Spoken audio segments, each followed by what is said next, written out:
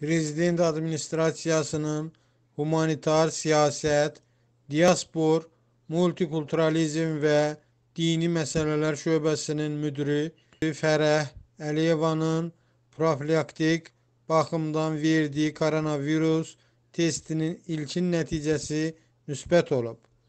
Qafqaz Info xəbər verir ki, təbibin şöbə müdiri Yaqut Qarayevin sözlərinə görə Fərəh Əliyevadan tibbi protokola əsasən təkrar test götürülüb və təkrar testin nəticəsi neqativ olub.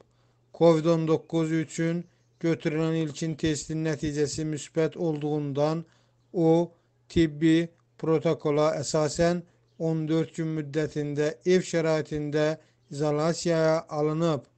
Hazırda Fərəh Əliyevanın vəziyyəti stabildir. Hər hansı bir şikayəti, xəstəlik, simptomları qeydə alınmayıb.